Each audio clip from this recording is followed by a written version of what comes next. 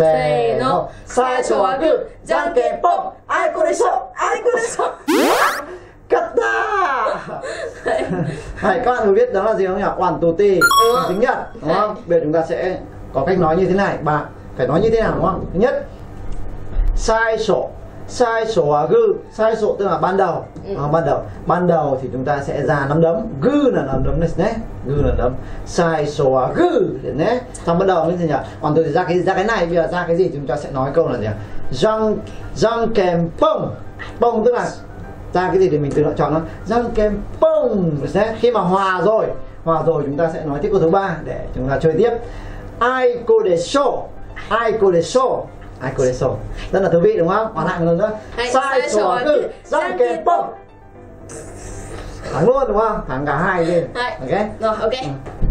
Cô ơi, à, Ừ. cho em hỏi một tí Ừ. đúng không? Từ sai sổ với cả từ ma dự và từ toriaizu ngoài ra cả hajimete khác nhau như thế nào Bốn từ đúng không? Ờ, Hay thấy trên Thế mạng em thấy trên mạng người ta cũng hỏi rất là nhiều câu hỏi này mà em chả hiểu gì mấy từ giống giống nhau đúng không? Đầu tiên hajime thì hajimete thì mang một nghĩa hoàn toàn khác nhá. Là hajimete là lần đầu tiên làm chuyện ấy chẳng hạn đúng không? hajimete sushi o tabemashita Hay. đầu tiên tôi ăn sushi được Đấy. nhé Thế còn à, tiếp theo à, xong một từ rồi nhá. Ừ. Tiếp theo đến từ sai sộ và từ ma dự thì à, nghĩa khá khá giống nhau. Ừ. Là ban đầu là hay là trước tiên là thế nào thế nào đó. mà dự được nhé trước tiên Ví dụ như là gì đấy nhỉ? はい最初はひらがなを勉強します Ừ. 次にカタカナを勉強します最後に 漢字をたくさん勉強しましょう。最後ですね。最後最後,の後じゃない声の「ドーピン」って言うひらがな、そうでよ、カタカナ、バコイコン、ひら、漢字ですね。非常に重要なものです。まず、あ、まず、まず、まずは、ひらがなを勉強します。